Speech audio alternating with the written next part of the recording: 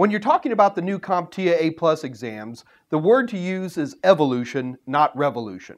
First of all, CompTIA has gone back to their earlier format where there's only two exams. Uh, in the previous set of exams, you would have your base exam, and then you had a choice of three different exams to take. That's all over.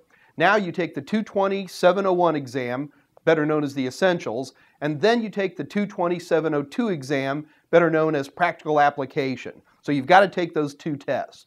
The other thing to keep in mind is that the A plus exams have not managed to get Windows 7 involved which is a little frustrating for us because just about the time these new exams came out, Windows 7 came along and CompTIA chose not to include Windows 7. However, in my product, you're going to see that we put lots of Windows 7 in there. We treat it as a beyond A plus type of feature, but even though Windows 7 isn't on the exam, it is so predominant, it's so much out there that we feel that at least a strong mention needs to be done, and we've done it all over the place. The other thing to keep in mind is that from a technology standpoint, CompTIA seems to have drawn back a little bit.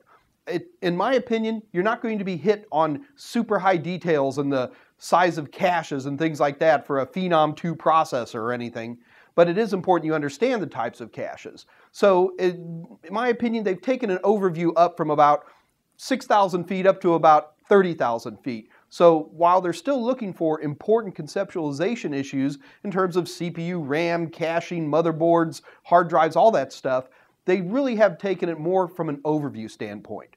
Now, when it comes to actually enacting repair, CompTIA has actually taken it down a little bit.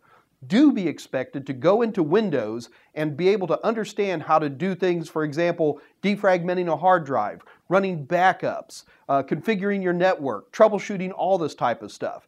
CompTIA continues to work really hard to make sure that you have the practical skills to be able to get out there and work on your computers.